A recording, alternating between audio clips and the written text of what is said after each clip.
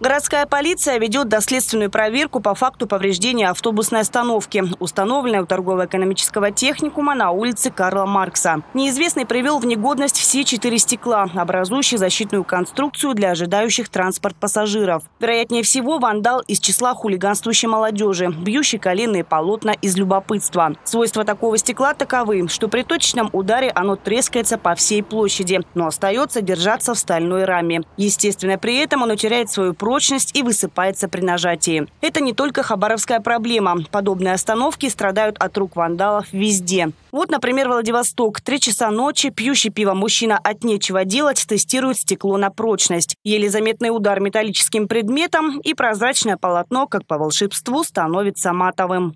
По факту повреждения конструкции автобусной остановки в железнодорожном районе участковыми уполномоченными 6-го городского отдела полиции проводится проверка. По ее окончанию будет принято законное и обоснованное процессуальное решение.